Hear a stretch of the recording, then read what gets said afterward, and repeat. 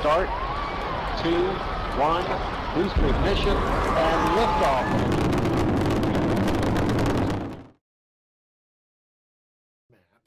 Ciao a tutti e bentornati ancora una volta su Indie Gameplay Ita. Oggi siamo su Forspoken e ringrazio Square Enix per l'immensa opportunità che mi hanno concesso.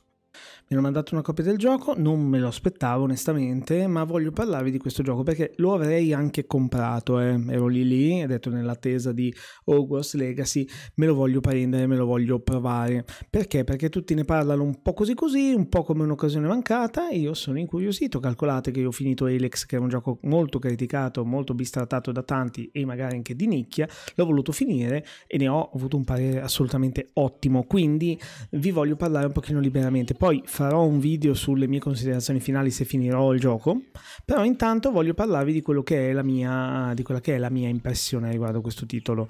Allora, fondamentale da dire che bisogna eh, chiarirsi la mente su quello che ci si aspetta da un gioco, soprattutto da un gioco come questo, nel senso che se vi siete visti dei gameplay in passato e vi aspettavate un The Witcher, un uh, Dragon Age, un gioco di ruolo dove fai mille cose, mille dialoghi, mille scelte, no, non è questo. Se lo consideriamo sotto quello che è, secondo me è un gioco anche carino, perché a me onestamente non piacciono i giochi dove si combatte e basta, ma quando si combatte con una qualità tale come in questo gioco, eh, sono combattuto. Perché? Perché tutto quello che fate all'interno del gioco ehm, ha la finalità di potenziare il vostro personaggio, ma Iniziamo dall'inizio, vi faccio vedere il diario con i vari capitoli che vi spiegano tutto quello che è successo, non vi voglio spoilerare molto. Eh, vi dà una mappa vi, pian piano nelle prime due ore di gioco ve la, ve la sbloccate la prima zona perlomeno, perché è un mondo, un continente diviso in quattro regni ed è una di quelle categorie che vengono definite isekai, se non sbaglio il termine. Praticamente è un po' come Nino Kuni, dove la nostra protagonista vive nel mondo reale, vive a New York, ma in seguito a un evento insomma, che bisognerà chiarire nella storia, eh, si ritrova in questo mondo parallelo in cui tante persone, tra l'altro ho visto che si somigliano, ma devo vedere se è solo una coincidenza, e si ritrova con vincolata a questo suo bracciale che vedete che ha, ha al polso destro. E vabbè, lei parlano continuamente, questa è una grande critica che gli hanno rivolto, continuano a farsi battute, a punzecchiarsi, li ho trovati piuttosto divertenti, devo dire la verità. Lui continua a dire di chiamarlo Vambaris, quindi bracciale, lei continua a chiamarlo Caff, che sarebbe polsino, insomma, lui si offende. Così come anche quando all'inizio lei prende a botte per toglierselo una ringhiera e lui urla, aia, aia, lei gli dice ti ho fatto male, e lui no, e fanno, mi fanno ridere un umorismo un po' così, però insomma poi a lungo termine quando state fermi iniziano a parlare, magari diventa un pochino più pesante, però niente di, di che al momento. È molto utile lui perché con il tasto X potete scansionare l'ambiente, vi dà le varie risorse, soprattutto se vi trovate di fronte a dei nemici grossi e non sapete se potete affrontarli o meno, lo fate e vedete che loro due inizieranno a parlare dicendo quel nemico tu cosa faresti? E l'altro fa no io me ne andrei e quindi capite che non è del vostro livello, che è molto difficile, insomma, e che non potete affrontarlo. Questo è in sintesi. La mappa ve l'ho fatta vedere, la mappa è costellata di tanti punti di interesse, adesso prenderemo a vederne uno, caro distrutto, in viola quello che ci viene regalato una volta che completeremo questa zona, piuttosto che, che so, qua c'è un dungeon, vedete, ci dà una collana alla fine. Qua c'è un forziere, qua c'è un monumento, i monumenti danno un potenziamento alle statistiche, poi abbiamo l'equipaggiamento appunto diviso tra adesso aspettate che eccolo qua, diviso tra mantello e um, collana. Entrambi poi si possono potenziare il crafting, ve lo faccio vedere dopo, ma li potete equipaggiare, qua ci sono i vostri valori, qua in alto vedete il livello, il mana che abbiamo, poi vi spiego anche quello, il vigore, la cura, la difesa, la salute e la prestanza magica con una statistica. Queste statistiche aumentano al passaggio di livello, aumentano esplorando, trovando questi altari, questi monumenti, così come anche oggetti che vi fanno potenziare in modo permanente, questo incentiva, è fatto per incentivare l'esplorazione. Le risorse abbiamo l'elenco delle risorse raccolte, ce ne sono tante, e l'archivio è molto utile perché ci dà informazioni su ogni personaggio e la considerazione che devo fare all'inizio è che riguardando i vari personaggi, io adesso non vi spoilerò nulla, però riguardandoli adesso dovrebbe comparire, credo, anche l'immagine, ehm, mi ricordo, e alcuni nonostante ci abbia giocato solo tre ore, li ho presenti, li ho intravisti, mi stanno simpatici, mi sono fatto un'idea, ho cambiato addirittura idea, eh, in solo 3 ore, quindi è carino, il gioco non dura tanto in realtà perché se correte lo fate in 10-15 ore, se no arrivate anche a 30 però ripeto, poi lo ripeterò dopo, non dipende da che cosa vi aspettate voi dal gioco. Comunque l'archivio è molto interessante. La magia l'ho lasciata per ultima, ma la magia è molto importante perché girando troverete degli oggetti che vi potenziano, vi fanno salire il mana, che è una sorta di risorsa, e con questa risorsa potenziate gli incantesimi. Vedete qua io ne ho 19, potrei prendermi un incantesimo che chiede 12. Questo la panacea vi fa spuntare dal tuo braccio delle piante magiche efficaci contro il veleno. Me la posso prendere, vedete che mi dice che posso prenderlo, ma non sono tutti qui perché tanti, esplorando sempre, potete sbloccarli e vi dire hai trovato un nuovo incantesimo. Appena entrerete qui vedrete il nuovo cerchio che va a formarsi quindi pian piano ne scoprirete tanti. E gli incantesimi si dividono tra attacco e difesa e premendo, tenendo premuto il tasto Q poi col pad sicuramente sarà meglio. Avete due magie al momento ne ho due. Col tasto destro la attivate io attivo quella o quella che eh, imprigiona i nemici in un groviglio di erbaceo qua fa sbocciare dei fiori che raccolgono rocce e le lanciano io prendo quella che incastra. Col tasto E invece menu di attacco abbiamo la sassata esplosiva che ho da poco potenziato a livello um, 2, la sassata multipla e la barriera di sassi, io prendo questo. E ora vi faccio vedere anche il combat, poi passiamo, torniamo qui, questo è uno dei rifugi dove ce ne sono sparsi per il mondo, potete usare il crafting, potete dormire, dipende sempre da che cosa vi aspettate dal gioco, appunto se vi aspettavate un eh, Dragon Age, un gioco di ruolo di quelli profondissimi, no, qua si approfondisce essenzialmente la storia e i vari personaggi, poi possiamo dire, eh, magari si hanno parlato delle, nelle recensioni della storia, hanno fatto delle critiche al finale, non lo so, ma questo non, non spetta a me. Nel senso, io vi voglio far vedere come funziona il gioco, perché tante volte guardando le live di gente che gioca non vi viene spiegato questo. Io ho trovato un documento, diffusione della rovina. La rovina è... Ehm, la piaga che sta uccidendo tutti all'interno di questo mondo li pietrifica, insomma, e noi sembriamo dei predestinati perché non ci ha ucciso e ci siamo passati in mezzo. Abbiamo recuperato degli oggetti eh, per la cura, per il crafting della cura, eh, cura nostra, e qua abbiamo trovato un altro diario. Possiamo fermarci, leggere e scoprire la storia di questo luogo, perché c'è un carro distrutto e così via. Ma ora vediamo il combattimento. Il combattimento adesso vedo se trovo un nemico, ovviamente noi abbiamo all'inizio, mm, troveremo gli incantesimi per il parkour, quindi ci consente di saltare fino a un certo punto in altezza premendolo ripetutamente. Qua scansioniamo. Sì, lei si discosta un po' dal canone classico di medievale perché parla newyorkese, parla eh, con parolacce, insomma, e cose varie, quindi... Però eh, l'ho trovata simpatica questa cosa perché se una persona che una, diciamo una lada, insomma, povera, senza casa, si ritrovasse in un mondo con la magia e direbbe uh che figo questo, che figo quello. Questi sono dei, il mana, potenziamento del mana che trovate esplorando, vedete io sono arrivato qua, ho trovato il mana. Ora cerchiamo dei nemici da combattere.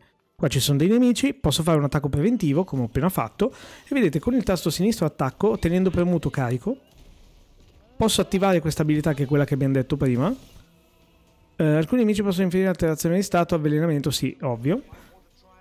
Adesso io uso la stretta, che non ce l'ho fatta prima usarla. Mamma mia, sono immuni a quella pianta che li imprigiona, quindi niente. E premendo il tasto del parkour, quindi la, mm, il control, potete fare dei movimenti laterali. Se lo premete insieme al mouse, lei rotola. Ovviamente col pad è ottimizzato questo gioco, quindi. Però intanto stiamo combattendo. Ora, il combattimento, come tanti giochi orientali, ci verrà eh, valutato con una lettera fino a una stellina. Grado C. Finora. E praticamente abbiamo fatto altra esperienza, breve faremo un altro livello, saliremo a livello 6 eh, abbiamo, più giochiamo a livello alto, più le ricompense sono alte. Ora abbiamo battuto i nemici, possiamo raccogliere col tasto F e aprire il forziere che eh, sulla mappa, è scomodo che non c'è un tasto M per aprire la mappa, dovete andare qua, dovrebbe eh, venire indicato forziere, infatti c'è un forziere dove siamo noi e ci siamo proprio davanti, quindi lo, lo apriamo, che è questo qui, dentro va degli oggetti. Allora, questo è il forziere e abbiamo preso la pietra a grana fine. Ovviamente il parkour lo potremo potenziare dopo, però funziona sempre piuttosto bene. Possiamo anche correre e con la corsa possiamo procedere. Vedete, dice un nemico, possiamo attaccarlo. Vediamo se riesco a usare finalmente quell'incantesimo che li imprigiona. No, immune. Sono immuni questi um, all'incantesimo che li imprigiona. Ma quando vedete che in basso alla destra c'è un triangolo, quel triangolo più combattiamo, più, più sferiamo colpi, più si riempie. Quando è riempito del tutto, sinistro e destro del mouse insieme attiverà la nostra super mossa.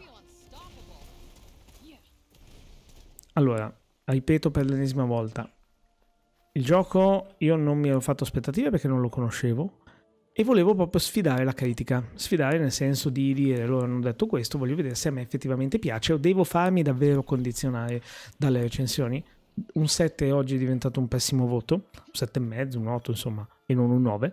Allora, vabbè, niente, mi sto già adoperando per questa cosa. Comunque, il combattimento è il fulcro di tutto, noi giochiamo per potenziare noi stessi, però eh, lo facciamo guardando una mappa, guardando dei punti di interesse. Ad esempio, io adesso sono curioso di vedere cosa c'è all'interno di, ehm, vediamo se si vede da qui perché l'ho visto prima, di quella cupola. Cosa c'è dentro quella cupola? Io là dentro so, guardandoci, eh, che dovrebbe essere questa eh, no. E adesso mannaggia non riesco a vederla. C'è un dungeon che mi dà... Devo aprire una mappa un pochino più dettagliata. Sì, voglio andare indietro, così me la vedo. Che dovrebbe essere que... No, questo, eccolo qua. No, perché qua siamo su un altro piano. Mannaggia, l'avevo vista prima. Praticamente c'è un, un dungeon, che è appunto quello che abbiamo visto prima, dove ci dà la collana. Ora, eccolo qua, la collana, libero sigillato est. Voglio andare là e là c'è un dungeon, lo affronto e mi sblocco la mia collana. Quello è una delle cose da fare. I rifugi servono per teletrasportarsi velocemente tra una zona e l'altra e adesso vi faccio vedere. Comunque un'altra cosa interessante, come vi dicevo prima, se faccio la scansione, vedete che loro adesso parlano. Potrebbe essere un po' oltre le nostre possibilità. Ok, troviamo un altro modo. Ora, faccio vedere un'altra cosa. Andiamo a vedere... Tengo premuto il, il control, eh? sto andando avanti così. Allora, apriamo la porta. Qua dentro ci sono documenti, oggetti, li raccogliete la prima volta. Potete dormire e ripristinare la vita. Ora, Qui abbiamo il tavolo del crafting. Col tavolo del crafting possiamo creare o potenziare. La creazione ci permette di potenziare un infu- creare un infuso curativo, quindi, quindi magari eh, abbiamo 5 pozioni di cura che si attivano col tasto C, eh, possiamo crearne un, uh, un sesto. Lo facciamo. Poi possiamo aumentare la borsa per i rimedi. Abbiamo una scheggia preziosa cioè ne chiede una, ne abbiamo due, lo creiamo. Quindi a questo punto possiamo fare un altro infuso curativo, ne abbiamo sette, è sempre comodo. Ma la cosa più interessante è il potenziamento. Il potenziamento ci consente di eh, in questo caso, mh, mm, vabbè, qua possiamo aumentare la salute, ma non possiamo più farlo. Cioè, no, in realtà sì, possiamo aumentare eh, i bonus alla magia viola, eh, la salute, la difesa, oppure aggiungere un tratto. Ora qua non ne abbiamo, vedete in questo caso questo mantello qui, io, il tutorial era basato su questo ma in realtà poi io ho trovato subito questo esplorando perché l'esplorazione in questi giochi viene sempre premiata, potete o potenziare spendendo quello che ci dice qua sotto oppure andare ad aggiungere un parametro, il parametro lo potete scegliere tra miglioramento di caratteristiche quindi più forza, eh, scusate più salute, più difesa, più magia viola piuttosto che attacco con una diversa risorsa richiesta, potete potenziare i colpi critici o colpi di grazia, potete aggiungere un effetto di difesa o un effetto di cura. Ne potete aggiungere fino a 3 per i vari equipaggiamenti che trovate, che sono collana e eh, mantello. Ovvio, vi aspettavate un gioco con mille oggetti da poter equipaggiare? Andate su altro. Insomma, questo è un gioco dove vi snocciolate la lore, che a me sembra anche ben fatto, ho visto giochi molto più superficiali eh, e vi potenziate, vi create il vostro, vi scoprite i vostri incantesimi, diventate più potenti e andate avanti con la storia. Lo trovo anche piuttosto leggero, cioè c'è la voglia di andare a vedere eh, che cosa c'è lì, che cosa c'è là, eh, bello l'incantesimo nuovo, non vedo l'ora di provarlo, voglio sbloccare quello, ma per ehm, un'avventura che dovete sapere e dovete essere consapevoli non sarà un'avventura di 150 ore. E questo è il, il, trucco. Poi possiamo discutere del fatto che il gioco, ho detto che l'avrei comprato, probabilmente l'avrei comprato su Instant perché 80 euro sono onestamente troppi. Questa è un'altra cosa, cioè graficamente è bellissimo, niente da dire. Ho tolto il ray tracing perché secondo me il gioco è più brutto con il ray tracing, almeno per il dettaglio che potevo permettermi io. È una 2080 ho. Eh, ma senza è diventato veramente bello. Aveva tanto bloom, tanto ni- eh, sfocato che mi dà fastidio. Una volta mi piaceva, adesso... E quindi, insomma, mh, mm, è troppo come prezzo. Quello assolutamente sì. Infatti su Instagram ho trovato una trentina di euro in meno e secondo me può valerne la pena se vi piace il genere. Eh, però ecco, quello che io volevo farvi vedere in questo video, in questo primo video, poi farò un video di considerazione, ripeto, se il gioco mi andrò a finirlo, perché non è il fatto che io lo, mh, ve ne parlo bene, vi dico i lati positivi e poi me lo finisco, nel senso che poi ognuno va a gusti. Io l'ho interpretato così e per quanto ho visto finora il gioco mi piace. Eh, ho sentito tante critiche sul fatto che lei parla con le parolacce, sul fatto che eh, è un'occasione persa. È un'occasione persa, ma dipende sempre da cosa ci stiamo aspettando. E questo è il problema. Perché il sistema di combat è bellissimo? Assolutamente sì. Potevano fare di più e dipende sempre che gioco vogliamo farlo diventare. Questo è il... vedete? Cioè, è figo, è bellissimo. Eh, è un gioco così. Cioè, potevano farci un gioco di ruolo con multiscelta, certo. È usciva tra tre anni. O magari è un gioco voluto così. Non lo so, io adesso non so la storia di questo gioco. Se ha avuto uno sviluppo travagliato o meno. È stato rinviato, quello lo so. Ma così come analisi, forse il prezzo esatto sarebbe stato un 10 o 20 euro in meno. Però gli hanno dato 7 Dipende, se ti aspetti il gioco di ruolo della vita, gli dai 7. Eh, il discorso è anche quello, non c'è il ciclo giorno-notte. Boh, mi fossi fatto un'illusione. Ho preso una nuova magia. Eh, adesso vi faccio vedere. Vediamo.